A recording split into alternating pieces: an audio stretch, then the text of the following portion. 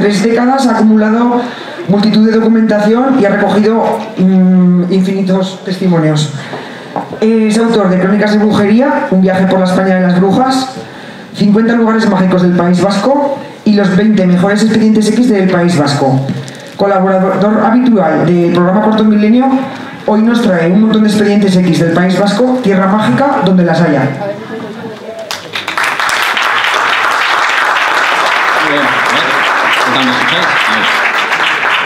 ¿Qué tal? Buenos días. Buenos nuevos días ya. En primer lugar, lógicamente agradecer al SIPE la invitación a este mítico ya congreso, que espero que siga en muchas más jornadas.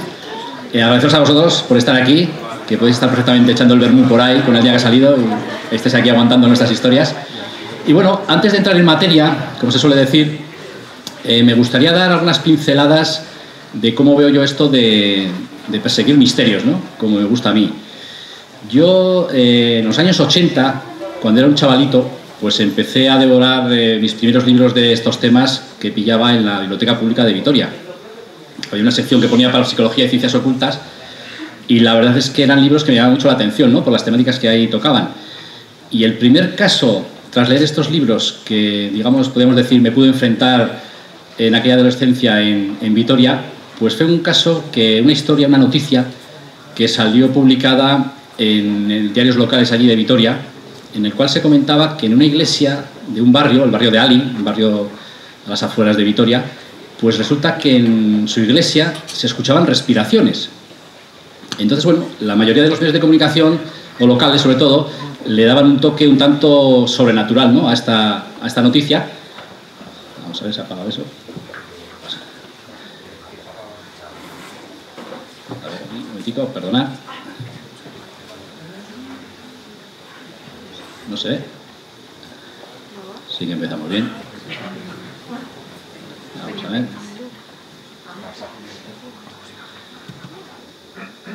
Ahí. Entonces lo que os decía, eh, en aquella época, eh, este primer caso que me llega a través de los medios de comunicación, que se habla de estas respiraciones, pues bueno, eh, tanto yo como un amiguete que tenía mi primo, pues en plan casi Stranger Things, cogemos las, bueno, Stranger o los Goonies, por la época, cogemos las bicicletas, nos presentamos en esta iglesia del barrio de Ali. ¿Y cuál fue nuestra sorpresa? Que efectivamente pudimos hablar con algunos vecinos del barrio que decían que sí, que habían escuchado unas eh, extrañas respiraciones, que resulta que se oían por las noches. Eh, la gente hablaba de milagros, hablaba de interpretaciones milagrosas, divinas, sobrenaturales, en fin, cada uno lo interpretaba a su manera. Y nosotros ya, pues con esas ansias de misterio que teníamos siendo esos jovencitos confusos de, aquella época, pues nos fuimos a casa pues con, con la emoción de haber estado delante de, gente que había, eh, digamos, sido testigo de un fenómeno extraño, ¿no?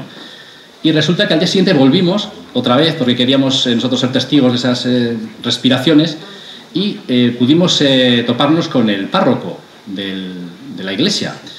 Y claro, cuando empezamos a preguntar, todo emocionados sobre esas respiraciones y demás, pues resulta que el párroco nos dijo, a ver, chavales, efectivamente, aquí se oyen respiraciones, pero resulta que entre los muros de esta iglesia ha anidado una lechuza y por las noches, cuando está ahí tranquilamente, pues eh, sus respiraciones, digamos, se escuchan porque el templo hace un poco de, de amplificador, ¿no? de, por la acústica.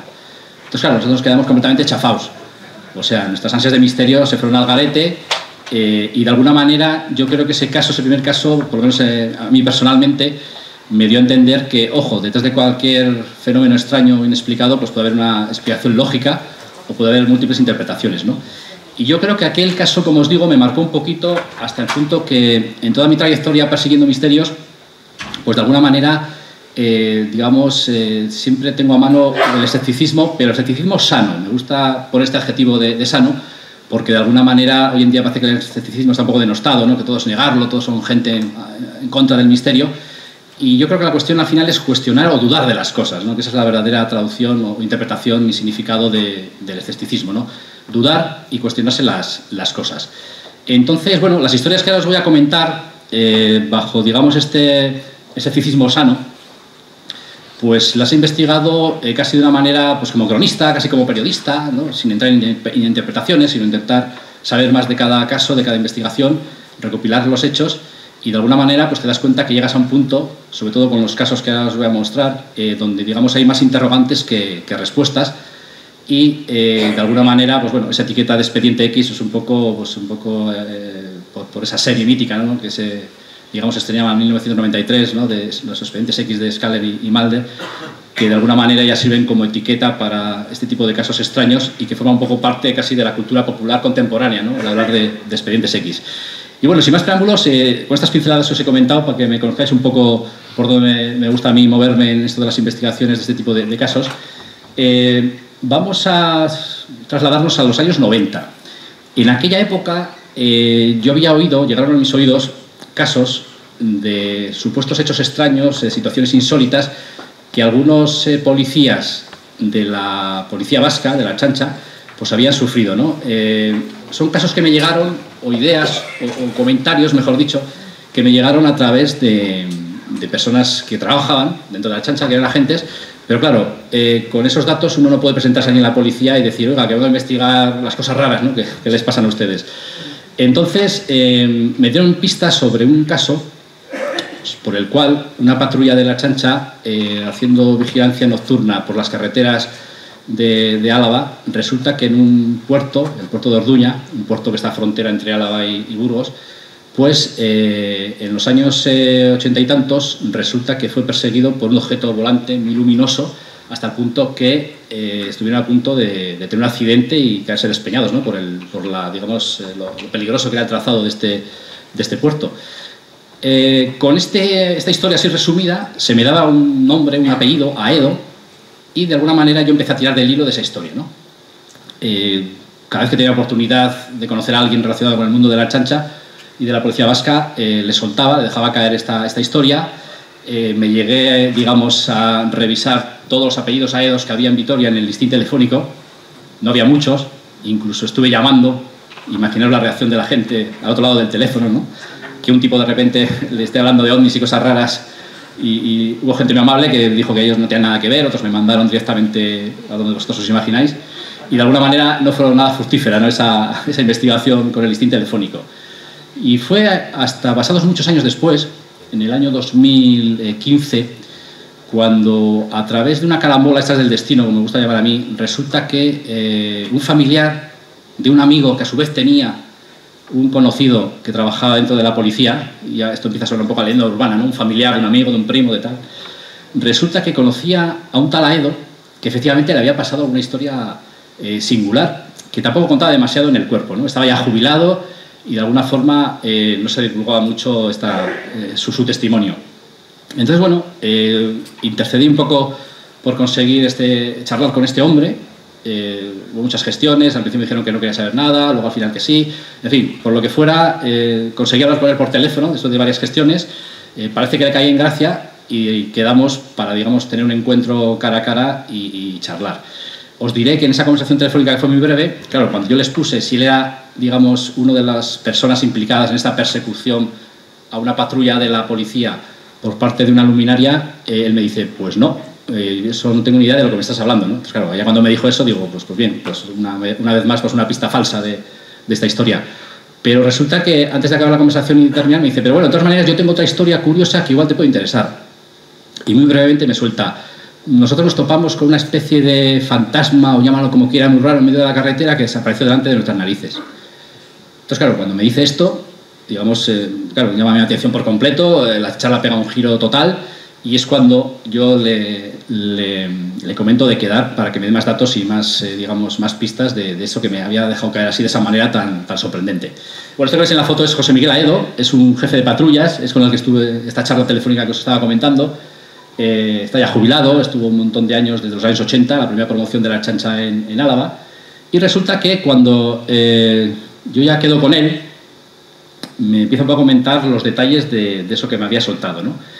Resulta que eh, en el año 1984, a principios de año, en enero, una madrugada eh, bastante fría allí en Álava, él y su compañero estaban en una estación, en una gasolinera, eh, bueno, vigilando un poco el tráfico de, la zona, estaban en, la jefatura de, tráfico de la chancha, y resulta que de repente, desde el centro de coordinación de la policía, reciben un aviso de que en el túnel de Ayurdín, un túnel que está a las afueras de, Vitoria, donde hay un pequeño puerto, pues eh, tiene una llamada de una pareja que ha estado a punto de tener un accidente porque casi se, chocan con un fantasma.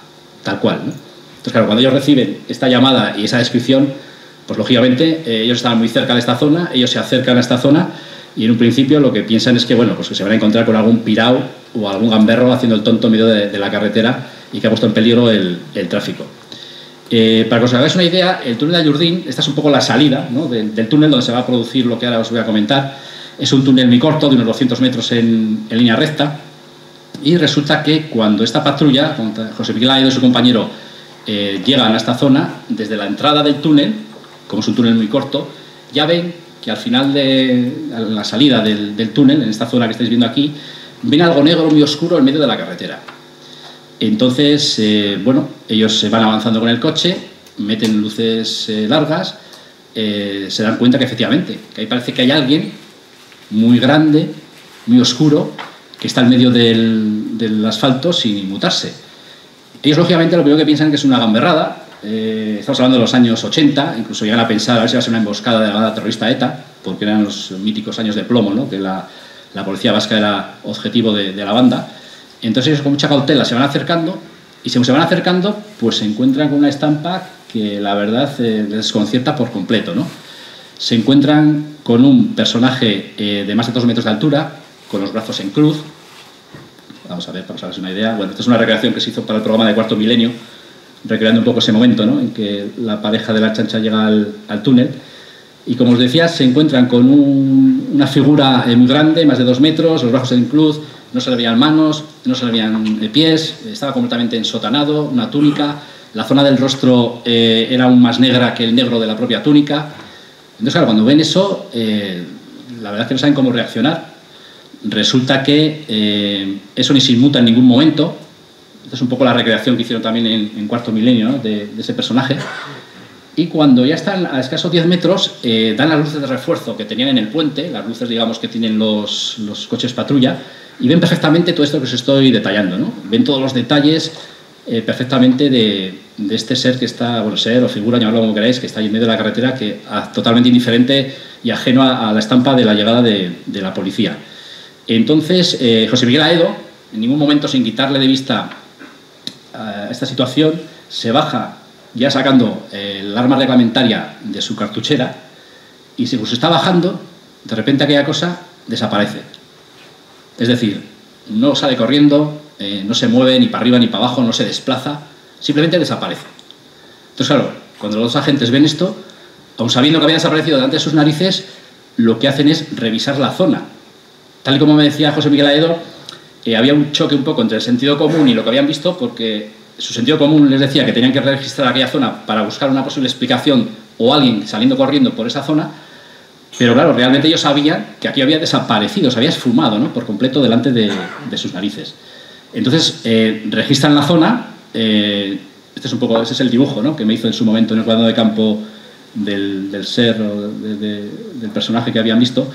Eh, cuando registran la zona esa misma noche tras este incidente, eh, efectivamente encuentran unas rodadas de vehículo, porque había habido un poco en el Arcén, que es el vehículo que luego posteriormente irían a su encuentro, que son los que dan la llamada de aviso por ese eh, casi choque ¿no? con, una figura negra en medio de, la carretera, empiezan a revisar toda la zona y, no hay posibilidad de, digamos, de localizar una explicación lógica.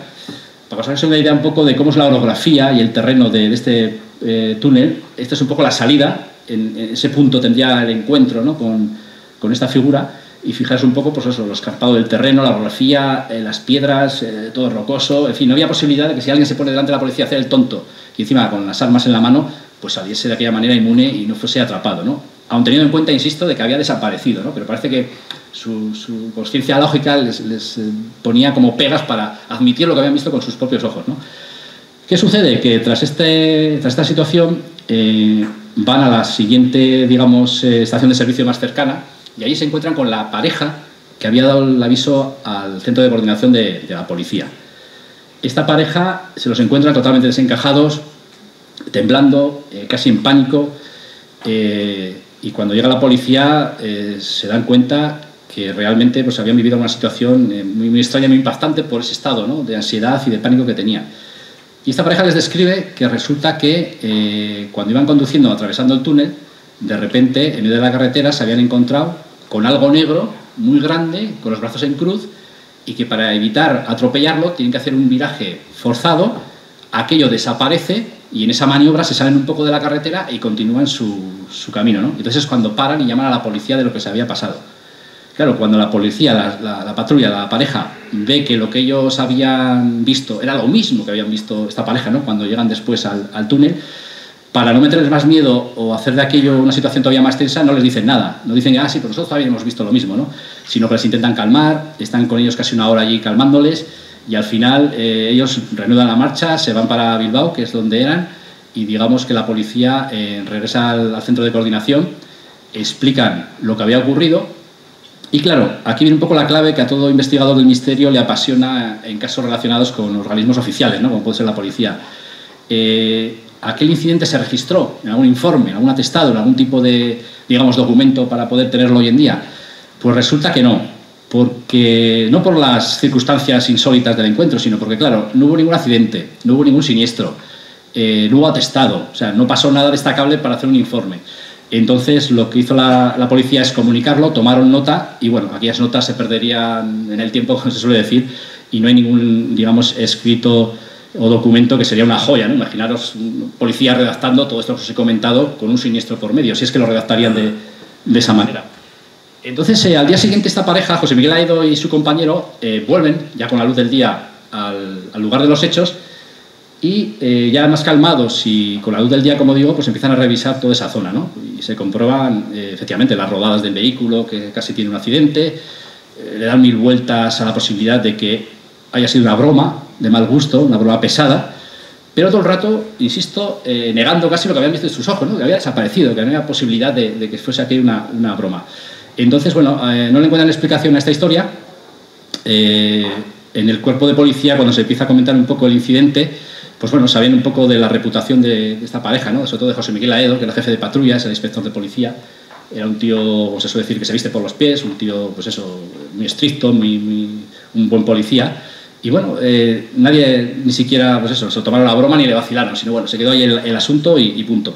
Entonces, claro, a mí cuando me cuenta toda esta historia, eh, yo en un principio le propongo, bueno, le propongo, le digo que si él me da permiso para que yo en mis investigaciones, libros, programas de radio, colaboraciones y tal, podría contar su caso porque parece un caso, la verdad es que fascinante, ¿no? Y él me dice, mira Enrique, si quieres, eh, yo te voy a un programa que tú quieras una sola vez, lo cuento, para que veas que estoy convencidísimo de lo que pasó, y ya está, para que la gente se entere y de alguna manera, eh, bueno, eh, reafirmarme yo mismo de que efectivamente aquello pasó de esta manera, ¿no? Entonces, claro, cuando me dice eso, me lo pone en bandeja, eh, le propongo ir al programa de Cuarto Milenio, eh, hablo con el equipo de Cuarto Milenio, eh, enseguida se mueve toda la maquinaria del programa para que ese hombre estuviese en, en, en plató, ¿no? Y yo tenía cierto miedo que, bueno, este hombre cuando fuese al plató a contar la historia, pues ya sabéis que la televisión es un poco artificial, que, la televisión desde el sofá pues, se ve de otra manera, y me da miedo que igual el, testimonio podía perder pues, cierta contundencia importancia, ¿no? Y, y, el caso que fue todo lo contrario, todo lo contrario. Eh, lo contó en plato de una manera contundente, eh, se hizo esa recreación que antes veíais que casi no fue ni necesaria, porque tal y como contaba el relato, la verdad es que era muy creíble y muy, muy auténtico. Y la repercusión que tuvo, que nosotros esperábamos, eh, por lo menos, eh, imaginaros, ¿no? esa pareja que sufrió también ese encuentro con este ser, o con, este, con esta figura, pues eh, que de alguna manera se hubiese puesto en contacto con el programa, hubiese salido por algún lado y no hubo suerte ¿no? en ese aspecto. El compañero de José Miguel Aedo, pudimos hablar con él, pero en ningún momento quiso saber nada de, de, la historia. O sea, la tenía un poco como olvidada. Y además la tenía un poco olvidada en plan, aquello fue algo no traumático, pero casi, y no quiero saber nada de yo de, aquella historia. ¿no? Entonces, bueno, al final tenemos un testimonio eh, muy curioso, muy insólito, de cuatro personas que ven lo mismo en estas circunstancias, y bueno, hoy por hoy, la verdad es que, mira, que esta es una zona de paso que se va sobre todo de la zona de Vitoria hacia Bilbao, hacia Vizcaya, se pasa muy a menudo, hay mucho tráfico. En aquella época no había tanto tráfico y de alguna manera, pues bueno, ya digamos, cada vez que paso por ahí, pues siempre pendiente ¿no? de esa salida, de ese túnel, a ver si se manifiesta de nuevo el, el ensotado famoso del, del túnel de Ayurdín. Pero la historia, eh, el testimonio, la historia, la, la investigación, pues resumida sería esta que os he comentado, pero resulta que en el año 2017 un año después de la publicación del libro de los expedientes X de Sidonia, que lógicamente cuento esta, este caso, resulta que se pone en contacto conmigo una lectora y me dice eh, lo siguiente, eh, me manda un correo electrónico, eh, a la vista de lo que me pone, me parece muy interesante y, y le llamo, Y eh, me comenta esta mujer que ella había trabajado en la empresa de hormigonado que hizo el túnel de Ayurdín. Y que resulta que hubo un accidente en los años 70 y como no se pudo sacar el cuerpo del obrero fallecido, se había dejado encofrado, se había dejado en el hormigón. Claro, a mí cuando me cuenta eso digo, vamos a ver. O sea, ya sabéis que a los misteriólogos me gustan llamar a mí, nos encantan estas historias trágicas, estas son sucesos insólitos, siempre estamos buscando lo trágico, el trasfondo trágico. Entonces, claro, cuando me dice esto, digo, no puede ser posible. O sea, como, por muy distinto que sea la construcción en los años 70 respecto a hoy en día, ¿cómo van a dejar un cuerpo empotrado, encofrado en esa zona, no? Entonces, tanto esta mujer como compañeros suyos ya jubilados de esa empresa de hormigonado, pues resulta que, decían que sí, que sí, que sí, que resulta que fue un rescate imposible porque cayó en todo el hormigón, el hormigón fraguó, no hubo posibilidad y al final se optó por dejarlo ahí. A mí me parecía aquello insólito, me parecía que, que no podía ser aquello así. Entonces, eh, de alguna manera, eh, tuve que hacer un máster rápido en construcción de, túneles y de encofrado porque me empecé a entrevistar con constructores, con algunos de la empresa constructora directa, ¿no? que había estado a pie de obra en, el túnel. Y este es un túnel que se empezó a construir en el año 76. Aquí veis un recorte de prensa de la época, donde se, digamos, se habla de, la construcción, que iba a mejorar lo que son las eh, comunicaciones ¿no? entre Vitoria y el resto de, provincias. En el año 76 eh, se empezó a construir y yo tirando de meroteca, hablando con la gente, en fin, después de muchas, de dar muchas vueltas, pues efectivamente me encuentro con esta noticia que en agosto del 77 resulta que eh, un accidente laboral y fallece una persona. Pero claro, eh, en este reporte de prensa se hablaba, si os fijáis al final, que esta persona eh, murió en el hospital de Vitoria, ¿no? donde falleció, en el hospital de, de Chaburrichu. Entonces, bueno, iba ya cuadrando un poco la historia del muerto del accidente laboral pero claro, lo del encofrado, del cuerpo metido en el hormigón, eso empezó un poco a, chirriar. Eh, como aquí tenía los nombres y apellidos de, este fallecido, pues eh, al final, tirando de redes sociales, que no os imagináis, eh, sobre todo los investigadores, para localizar testigos y testimonios, vamos, eso es una mina, porque a veces hay carambolas y, encuentros que, que, serían impensables en otras épocas, resulta que localizó a personas con estos mismos apellidos y bueno, pues empiezo a mandar mensajes privados diciendo que estoy haciendo una investigación histórica sobre la construcción del túnel. Claro, uno no puede empezar a mandar mensajes hablando de sotanados, hablando de cuerpos enterrados en hormigón y cosas por el estilo. Y resulta que con el paso del tiempo eh, me contesta, bueno, la gente, algunos muy amables, me decía, no tengo nada que ver con eso, no, no, no, sé de qué me estás hablando. Otras personas decían, no, yo, vamos, no, no hemos estado por el norte, por esa zona en ningún momento y tal. Hasta que después de unos cuantos meses, ya cuando casi tenía un poco olvidado eh, estos, estos mensajes, me escribe una chica que resulta que era la sobrina de este fallecido. Y me dice que sí, que su tío, eh, bueno, era un encofrador, que se buscaba la vida de La Coruña, pero se buscaba la vida por toda España trabajando, y en aquella época había venido a Vitoria a, la construcción ¿no? del, túnel de, de Ayurdín. Eh, entonces le digo, bueno, a ver si sería posible hablar con ella, con algún familiar, y me dice, bueno, pues lo consulto con mi padre, eh, que era el hermano del fallecido, y te digo, y al cabo de unos días, eh, bueno, me dice que sí, que no tiene ningún problema en charlar conmigo. Total, que me da el teléfono, eh, le llamo, bueno, estos son más artículos de cuando ya... Además es una construcción de un túnel que, bueno, tuvo sus problemas, como todas las obras, ¿no? Entre sindicatos, trabajadores, por las condiciones y demás. Y el caso que, como os decía, cuando me pasa el teléfono de su padre, el, hermano del, fallecido, claro, mi preocupación era ¿Cómo le voy a preguntar yo a este hombre si su hermano está o no está dentro del túnel de Ayurdín, ¿no? Aún sabiendo que la prensa ponía que había fallecido en el hospital, pero bueno, por cuadrar la historia y por protegerlo todo. Y resulta que, que bueno, empieza a contar la historia, ¿no? Pues eso, que se había buscado la vida como cofrador, que tal, que cual, había sido una pena, porque, bueno, las, las, medidas de seguridad de la época en las obras no tienen nada que ver con la actualidad, y bueno, había sido un desgraciado accidente y tal. Y me dice que él tuvo que venir desde La Coruña a Vitoria a reconocer el, cuerpo. Entonces él me dice que efectivamente, bueno, le enseñaron el cuerpo dentro del, féretro y que era su hermano. ¿no? Entonces, de alguna manera, sin yo preguntarle nada, me confirmó que su hermano estaba enterrado y que había sido trasladado en su féretro a, su pueblo natal de, La Coruña. ¿no? O sea que ese cuerpo no estaba tal y como pensaban los obreros de la empresa de hormigonado, estaba en, en lo que es en, el túnel de Jordín. ¿no? Para que veáis un poco, eh, yo la conclusión a la que llegué, pues es, una, es un, recorte de prensa de cuando ya se inaugura ¿no? en, en el 78 el, el, túnel, que está muy parecido, a pesar de los años, quitando algún detalle de instalaciones de luz y demás, está muy parecido al, al momento en que tuvo el encuentro eh, José Miguel Aero. Sí, os comentaba que yo llegué a la conclusión de que eh, como se tardó bastante en el rescate, yo creo, del cuerpo de este hombre para luego trasladarlo, eh, hubo una especie de confusión entre algunos eh, trabajadores de la empresa de hormigonado, ¿no? Y por eso yo creo que llegaron a creer que aquel cuerpo se había dejado allí en, en, este, en el cofrado ¿no? del hormigón, porque si no, no, no, me explico el, porqué de esa idea. Así que claro, cuando esta lectora del libro leyó el caso, enseguida lo relacionó que el que se aparecía allí me decía ya, podía ser este obrero, ¿no? Una interpretación muy osada, pero bueno, de alguna manera me puso otra la pista de algo que al final fue una tarea más de detectives que, de otra cosa para llegar un poco a, la verdad del asunto y, bueno, llegar a hablar con personas implicadas en este fallecimiento que confirmaron que no, que ahí lógicamente, como no era de otra manera, pues no estaba eh, el cuerpo, el cuerpo eh, emparedado, ¿no? Otra explicación se me está ocurriendo ahora, al hilo de la charla de Fede Padial, sería lo de la marimanta, ¿no? que hemos comentado antes. Pero yo creo que en este caso, por esa desaparición de, del exotanado ante la policía, no, no cuadra. Cuando yo llegué a coger confianza con, con, el policía, yo a pesar de lo que me contaba, le insistía en buscar una explicación lógica ¿no? a este asunto. Eh, desde este escepticismo sano, ¿no? que antes os decía, ¿no? cuestionando y dudando las cosas.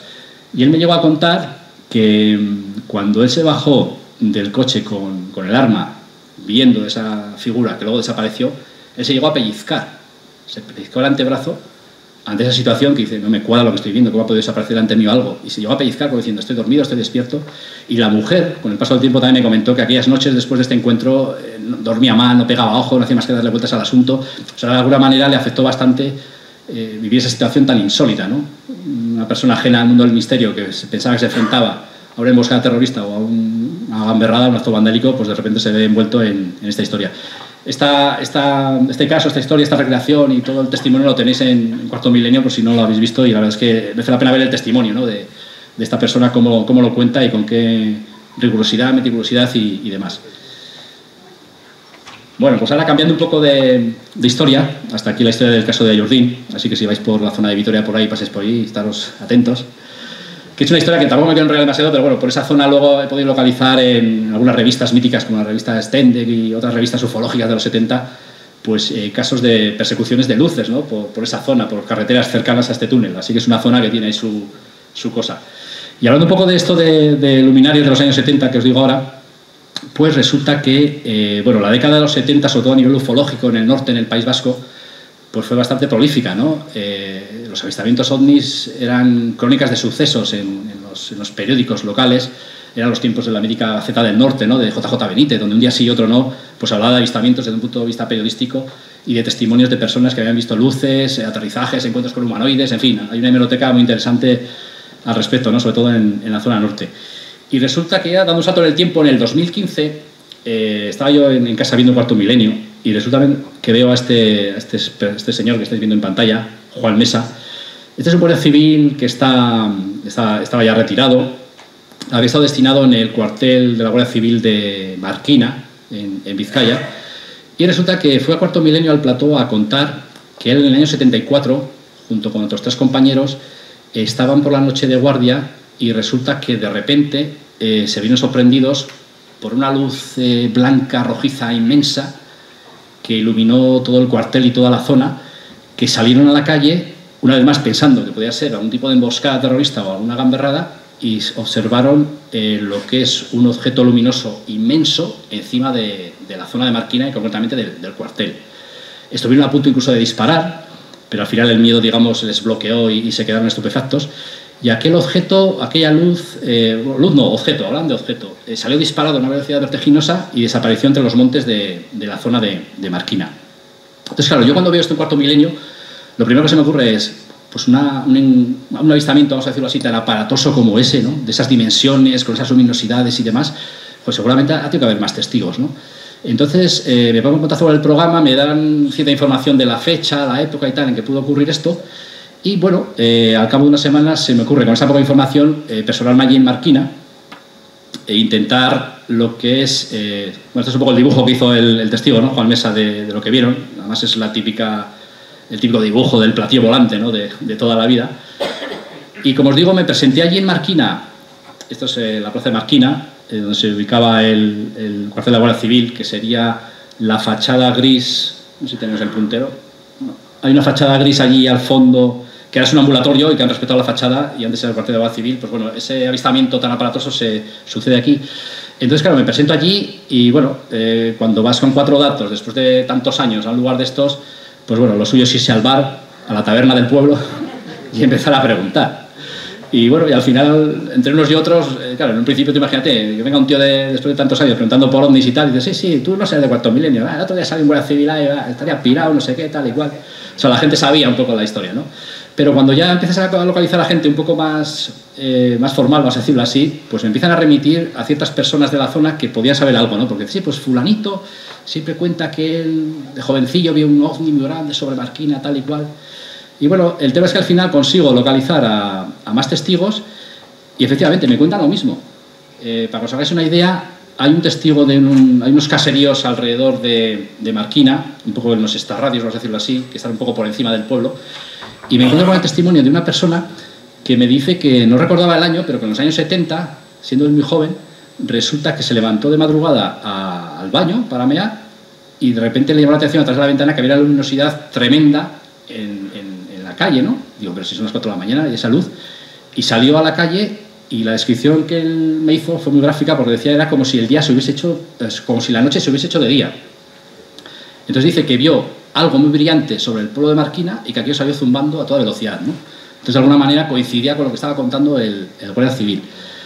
Pero por si no quedaba la cosa, eh, el padre de esta persona que trabajaba en una cantera que está en Marquina, una cantera que está las 24 horas, estaba las 24 horas trabajando, resulta que eh, también fue testigo de lo mismo el mismo día. Dice que estaban, estaban trabajando en la cantera de sus compañeros y de repente les llamó la atención una luz tremenda que venía de la zona de Marquina y efectivamente sobre Marquina vieron una luz inmensa que también salió a toda velocidad hacia, hacia el cielo. ¿no?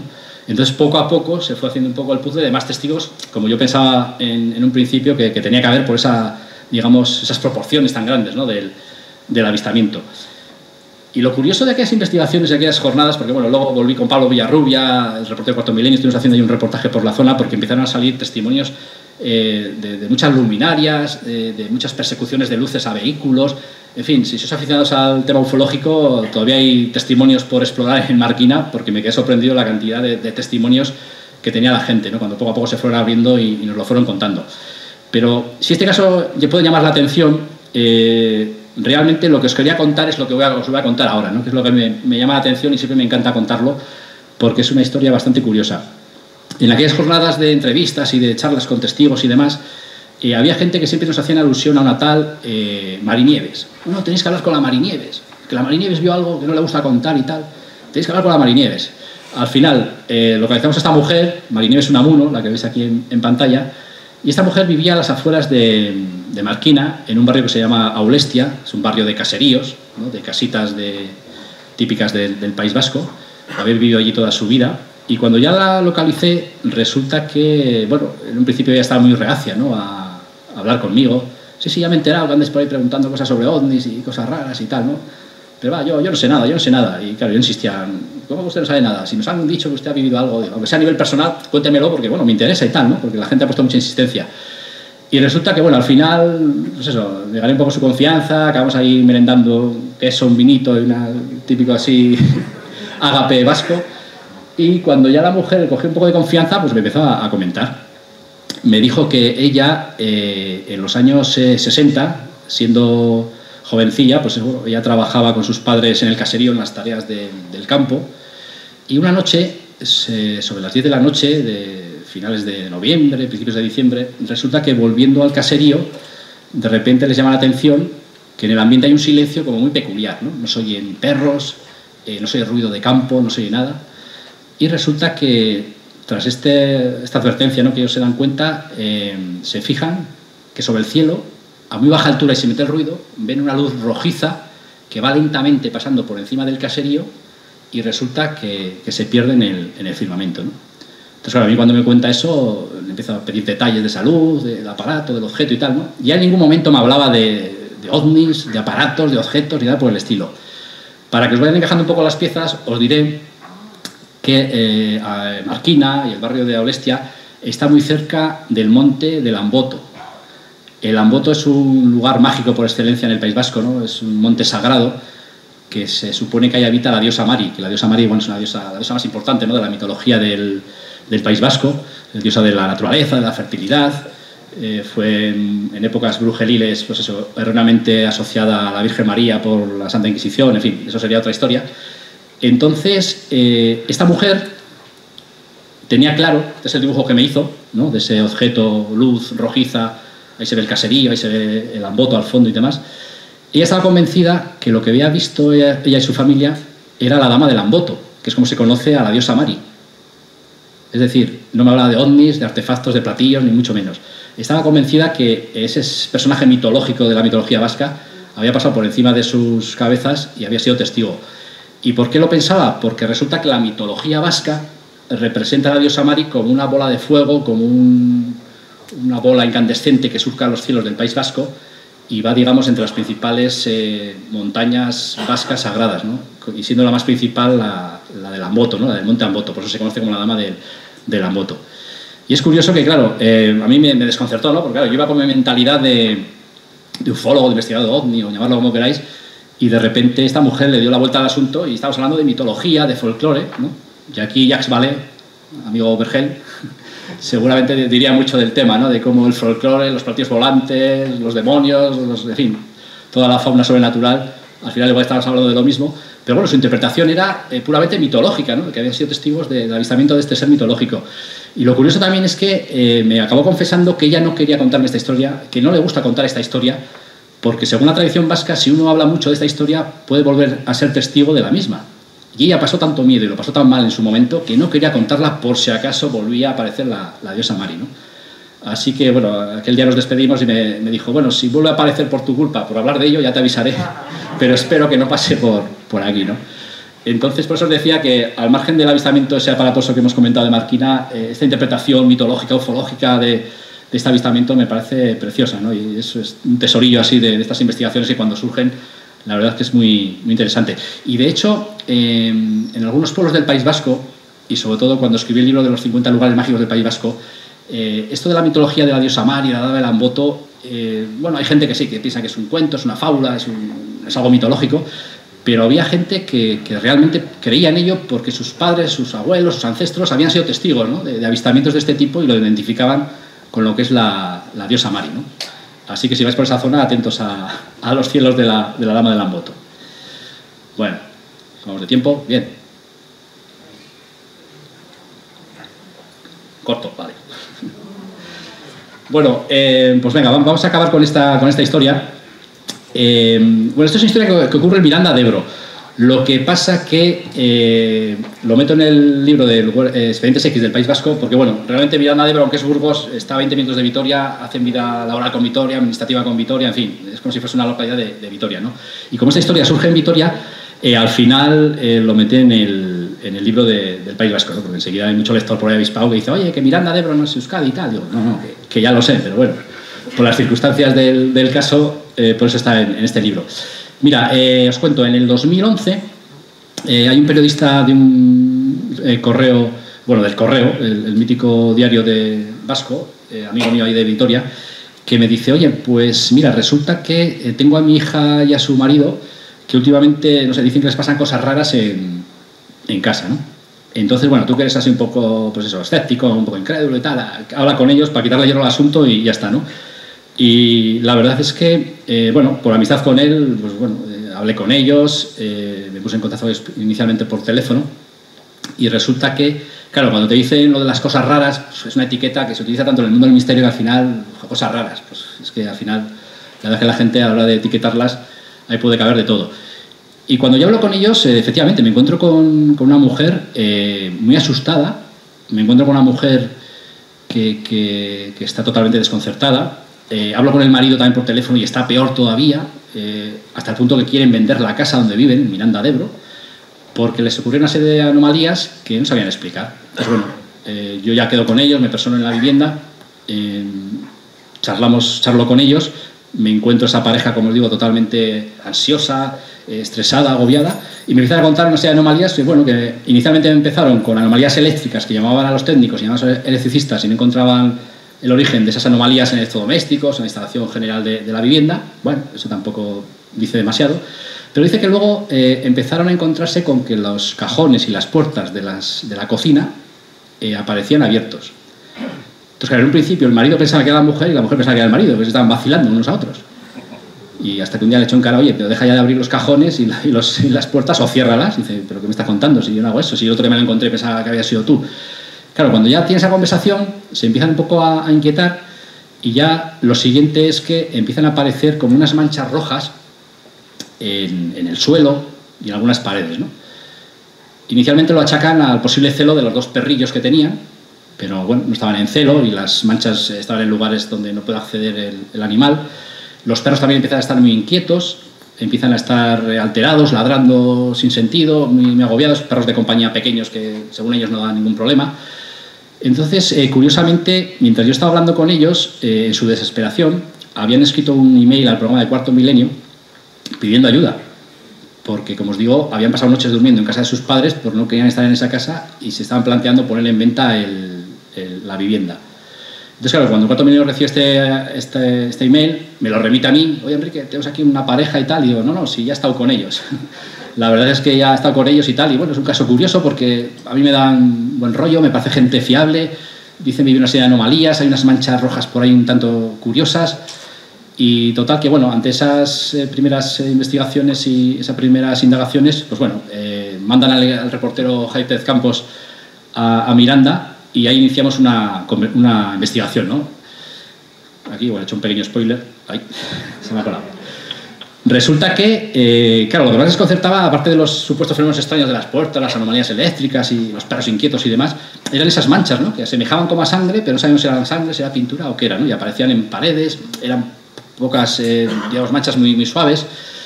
Y resulta que cuando ese fin de semana eh, llega el equipo del Cuarto Milenio a, a, Miranda de Ebro, pues eso, les, entrevistan, como estamos viendo aquí en esta foto, ¿no? entrevistando al marido, en ningún momento quieren que se les vea la cara, ni hay que cambiarle los nombres, porque quieren total discreción, ellos querían una solución a aquello, ¿no? Y a veces esto es un poco, te ves impotente, porque claro, a veces te puede el afán curioso, el afán investigador, pero claro, recetas en estos temas eh, no hay, y el que las venda pues es muy sospechoso, ¿no? Pero ellos querían que hiciésemos algo, ¿no? Se pensaban que íbamos ahí a hacer una invocación o sacar las túnicas y bendecir aquello para, para librarles de ese poltergeist o lo que fuera, ¿no? Entonces a veces es un poco egoísta, ¿no? Por parte del investigador, yo voy a tu casa, enredo en tu casa y ahí te quedas tú con, los fenómenos. Y resulta que en el transcurso de esas eh, entrevistas y demás, eh, la mujer resulta que nos empieza a decir, y la primera vez fue en una ocasión en que estábamos, estaba entrevistando al marido y yo estaba hablando con la, con la chica, y va y me viene y me dice, oye Enrique, mira, me he notado que me ha salido eh, sangre en el dorso de la, de la mano. Yo, ¿cómo te ha salido sangre? Sí, notaba como algo de humedad, me he mirado y tengo sangre. Digo, pues te habrás hecho una herida o algo por el estilo. Y dice, no, porque me estoy limpiando y aquí no hay herida, no hay nada. Bueno, pues sin más, ahí se queda la cosa. Pero es que en el transcurso de, de esa tarde-noche le empiezan a surgir a través de los poros de la piel eh, gotas de sangre que no os imagináis estigmas ni cosas así muy aparatosas. Eh, no eran heridas porque uno limpiaba la sangre y resulta que no había ni lesión, ni había herida, ni había hematoma, no había nada. Y pudimos ser testigos de cómo en algunas ocasiones eh, se empezaba a enrojecer un poco la piel y a través de los poros de la piel le surgía pequeñas gotas de sangre. ¿no?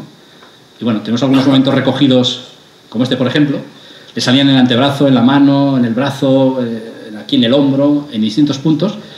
Claro, cuando vimos que aquello empezaba de esta manera, eh, claro, yo lo primero que pensé, yo soy muy aficionado al mundo de la magia, del ilusionismo, y, y, me encanta, ¿no? Y yo creo que un investigador del misterio tiene que saber algo de ilusionismo, y yo lo primero que pensé, nos están engañando, y están haciendo aquí un recurso ilusionista pues para adquirir protagonismo, lo que sea, ¿no?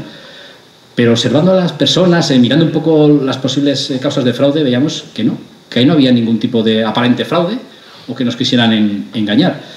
Entonces aquella noche se iba a hacer una conexión breve con Milenio 3, el mítico programa de la SER, para contar, en aquella época, bueno, cuando un equipo de reporteros estaba por algún lugar de España haciendo un reportaje de, para Cuarto Milenio, se conectaba con ellos, hacían una crónica de 10 minutos y otra cosa, ¿no? Y en esta ocasión, eh, claro, cuando conectan con nosotros y les empezamos a comentar que llevamos toda la tarde-noche viendo sangrar a una muchacha sin causa posible, sin saber el por qué, claro, aquella conexión de 10 minutos se convirtió en un programa de dos horas, contando en directo las sudoraciones de sangre de esta mujer. La verdad es que el desconcierto, o sea, eh, para os hagáis una idea, yo por muy escéptico sano como antes os decía que sea, claro, estaba viendo con mis ojos algo que, mi sentido común no, lo admitía, no buscaba explicación, pero lo estabas viendo, ¿no? Porque es que se veía cómo le emanaba sangre hasta a esta chica. Es una foto más. Bueno, aquí tenemos una menos aparatosa, pero también le surge la sangre, el reguero de sangre en, en el brazo. Entonces, claro, cuando nosotros se conectamos con Milenio 3 y empezamos a decir a Iker Jiménez y a Carmen y a Santiago Gamacho, recuerdo estar en el, estudio de base en Madrid, esto que estaba sucediendo, dice, pero a ver, ¿qué, nos estáis contando? ¿Y qué pasa con los fenómenos extraños y tal? Dice, mira, no sé, eso se ha quedado en un segundo plano, ahora estamos centrados en esto de las eh, sudoraciones de sangre y no sabemos qué está pasando aquí, ¿no? Porque descartamos el fraude, descartamos que nos estén engañando, parece sangre, pero no sabemos muy bien qué está pasando. Entonces, bueno, eh, Iker hace una gestión con Aitor Curiel, que es un forense, psiquiatra forense que colaboraba en aquella época con Cuarto Milenio, y desde Valladolid esa misma noche se trasladan a Miranda de Ebro y viene con su equipo forense y bueno, le recogen eh, muestras de sangre a la chica, hacen unas primeras eh, pruebas eh, cotejando la sangre con su ADN y efectivamente es sangre humana y es sangre de ella. Entonces ya científicamente se va comprobando un poco qué es eso rojo que estamos viendo. ¿Por qué aparecían gotas de sangre o manchas de sangre roja en el suelo, en las paredes? Porque esta mujer no era consciente de esas sudoraciones, es decir, eh, a ella no le dolía cuando sangraba. Ella empezaba a notar o se daba cuenta cuando había demasiada sangre y notaba la humedad.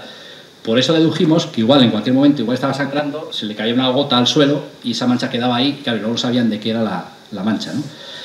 Entonces, claro, aquí el, el Curiel, el forense, con buen criterio, dijo que, bueno, eh, que médicamente, desde su punto de vista, eso podía tener una explicación. Y bueno, aquí Juan Antonio nos podía también iluminar.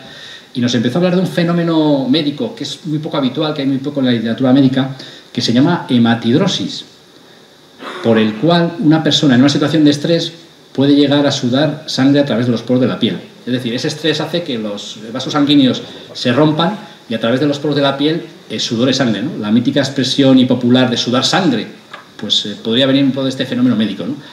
Entonces, claro, este, este científico, este forense nos decía, no, seguramente los fenómenos paranormales le han provocado tanta ansiedad y tanto agobio que esta muchacha está sudando de esa manera.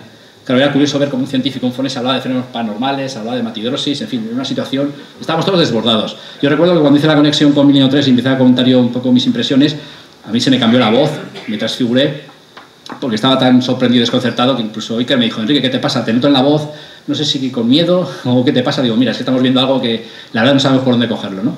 Y bueno, tras esa explicación médica, que, bueno, que sí, era una explicación científica, pero verlo era otra cosa, ¿no?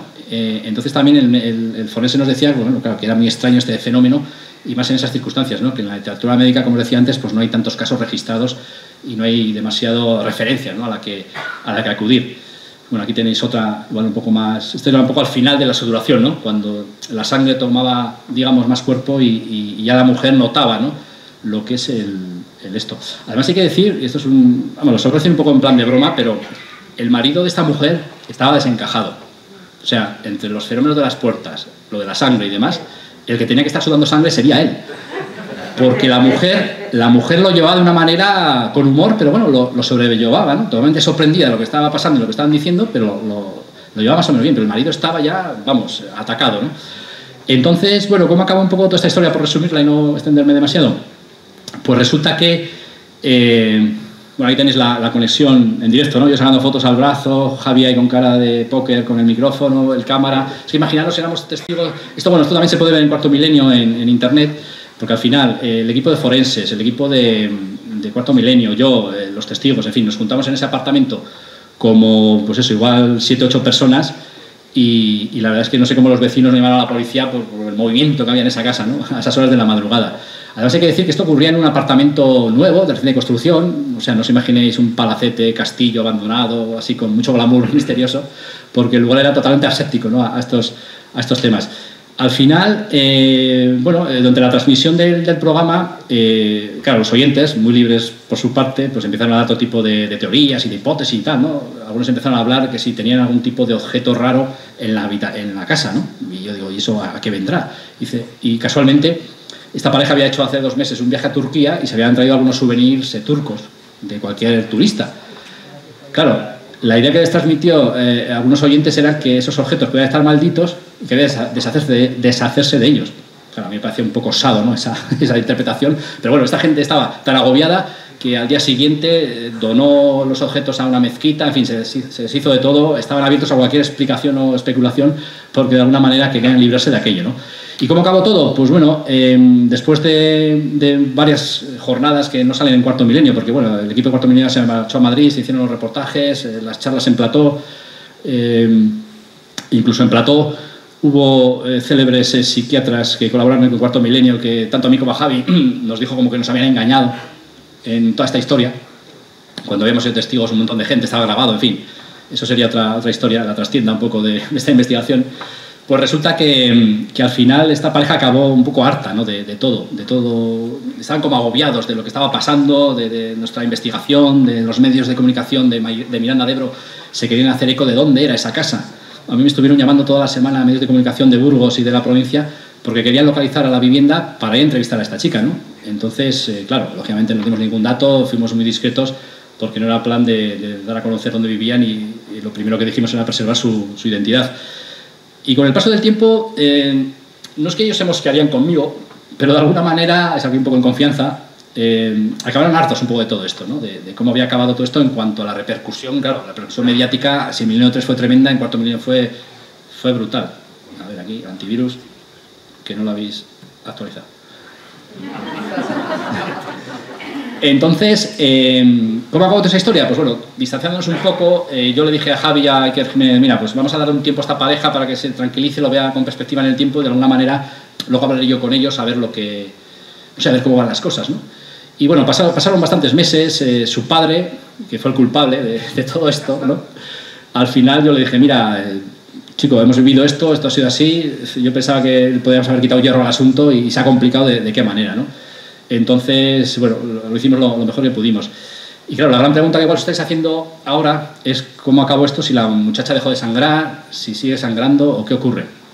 Pues mira, esta es una información un poco en exclusiva casi, porque hace cosa de dos meses o así, eh, me encontré con su padre, otra vez ya jubilado, periodista jubilado, y le pregunté por ellos y tal, a qué tal, todo bien, pues seguían trabajando, seguían en la misma casa, todo les había ido bien la vida, no había habido ninguna vuelta con esto de la pandemia y tal. Y resulta que, me dice, por lo que veo tú no sabes lo de Leticia. Ya se me ha escapado el nombre. Por cierto, que en el plato de cuarto milenio eh, acordamos un nombre falso y tuvimos que pagar un montón de veces porque no hacíamos que repetir el nombre auténtico. Y resulta que, claro, claro, me dice eso, digo, Leticia, ¿y qué pasa con ella? Me dice, pues que sigue sangrando. Que sigue sangrando. Cuando está agobiada, cuando tiene problemas laborales, personales o tal, sigue sangrando, le sigue sin doler, eh, no le trastorna para nada, convive con ello y ha ido incluso al médico de cabecera, se lo ha explicado porque ella tenía miedo de ir a los médicos, porque claro, eh, oye, que pasan cosas raras en mi casa y empezó a sangrar. Pues pensaba que se le, iba a internar en un psiquiátrico, ¿no? Y por eso era un poco reticente a ir a, a lo que es al médico. Y claro, cuando a mí me dijo esto, eh, yo contacté otra vez con esta muchacha, poco a poco, por WhatsApp, de manera así suave y tal, a ver qué tal todo, cómo está todo, tal, no sé qué. Y cuando ya estuvimos charlando un poco ya más en confianza, eh, le pregunté, oye, que me ha dicho tu padre que, que, sigue sangrando y tal. Y me dice, sí, sigo sangrando, chico, esto no se ha pasado. Ya lo tengo como un pequeño superpoder, que cuando estoy agobiada sangro y, y, ahí estoy conviviendo con ello. ¿no? Eh, le pregunté por los fenómenos extraños, dicen que aquí sí que remitieron, que no se volvieron a encontrar más anomalías eléctricas, ni más eh, puertas abiertas, ni nada por el estilo, pero que lo de sangrar continuaba. ¿no? Entonces, bueno, eh, un poco la conclusión de todo esto es curiosa, ¿no? y con eso ya finalizo. Resulta que, claro, eh, normalmente los investigadores nunca somos testigos de nada. Y es lo que más ansiamos a veces, ¿no? Ser testigos de algo para, compartir ¿no? esa vivencia o eso que estás observando. Y resulta que en este caso fuimos testigos de estas sudoraciones, que bueno, que al final tiene una explicación médica científica, pero que bueno, que casi yo creo era muy parecido a ver un fenómeno paranormal, ¿no? La sensación y el desconcierto. Y resulta que eh, lo que, digamos, eh, pude llevarme de toda esta historia es esa sensación de que tú has sido testigo de algo insólito y la gente no te cree. La gente se pensó que todo era mentira, que era un montaje de Iker y sus amiguetes, que realmente todo hemos montado. Entonces yo me acordé de tantos testimonios que yo he entrevistado que a veces son reticentes a contarte las cosas por ese miedo al que dirán o por ese miedo al ridículo, ¿no? o que no les creen. Y te da una impotencia y una rabia de decir, ¿será posible? O sea, lo he visto con mis propios ojos y me está diciendo que no lo he visto. Entonces, eso para el investigador fue una lección como importante, ¿no? decir, mira, no quería fenómeno, pues toma. Y eso que tiene una explicación científica que, bueno, que, que aún así me sigue pareciendo muy insólita, ¿no? Así que, bueno, ese sería un poco el fin y la moraleja, ¿no? Para el investigador de, de estas historias. Ahora sí que acabo, ¿no? Sí. Me pasan una nota que acabo muy bien. Muchas gracias.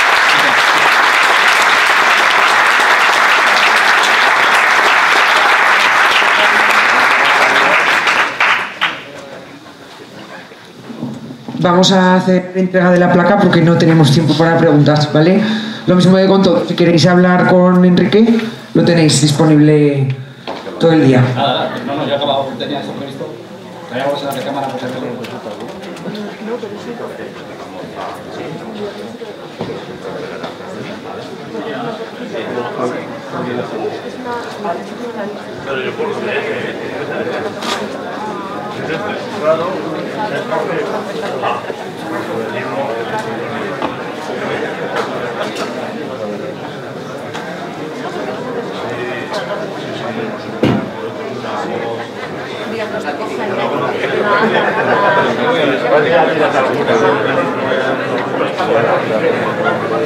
Sidonia sale para colaborar con nosotros en congresos y hace la placa. En este caso es Enrique, Carlos Gabriel, el editor de